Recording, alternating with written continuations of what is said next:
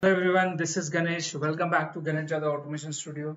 So today we are going to learn about how to run our test cases, how to run our Selenium test cases without and setting up the system.set property. So it means we are going to uh, learn how to run our test case with the help of the WebDriver manager. So for that simple steps we have to follow if you don't want to, you know, uh, download the particular browser's driver and you have to you know setting up those paths. If you don't want to these things what you have to do simple you have to open the maven repositories over here.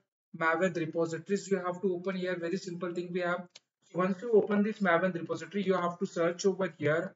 Uh, WebDriver manager we have to search. Simple you have to search about the web driver manager. Once you search the web driver manager you have to in short you have to add the dependency over here. You have to go inside this WebDriver manager.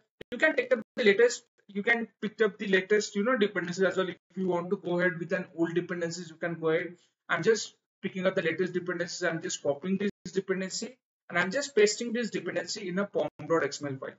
So once this is done you can see this is what the dependencies i'm, I'm done over here and and I have to download this dependency. For downloading purpose simple I have to, I have to click over here. And uh, this is how my Maven project is refreshing here. And now my you know WebDriver manager dependency successfully added over here. Once this is done now I have to uh, what I have to do I have to simple open uh, you know the Facebook uh, application over here. So for that what I have to do I have to use the first of all WebDriver driver is equal to new Chrome driver. Sorry, not a Firefox driver. New Chrome driver I have to use over here. Chrome driver. When this is done, then driver dot you know get method I have to use over here like http like this is URL basically I'm just using over here www.facebook.com uh, and once this is done I have to use what I have to use guys driver dot close method I have to use this is simple as usual steps I have to write down now, with the help of the WebDriver manager, our system.set properties line is going to eliminate. It means we don't have to use that line. So instead of that line, what we have to use, simple I have to use WebDriver manager dot what I have to use Chrome driver. So simple I have to use Chrome driver dot setup method we have to use.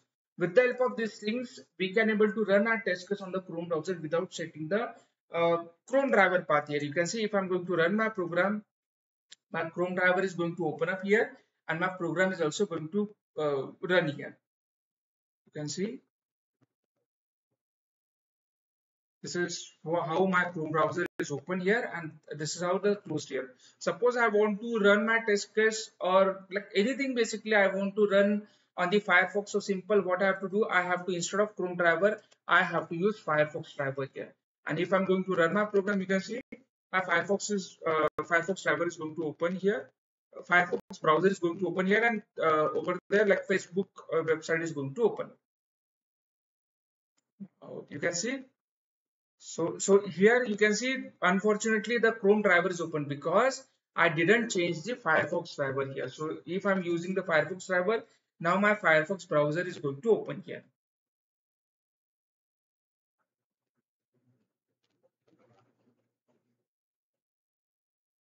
Now you can see this is my Firefox. You can you can see this is my Firefox browser, browser is open here. This is how basically we have to open. Now I want to run the same test case on the Edge browser. Simple. What I have to do, Edge uh, driver we have to use, and here Edge uh, driver also we have to set. And if I'm going to run my program, I can able to you know open any website on the Edge browser as well. You can see So this is an Edge browser is open here. This is how basically we can able to run our you know Selenium scripts on the different different browsers without and using setting the system.set property. So what we have to do, simple we have to import the WebDriver manager dependencies and based on that we have to set up okay and that that's all for today thanks for watching this video guys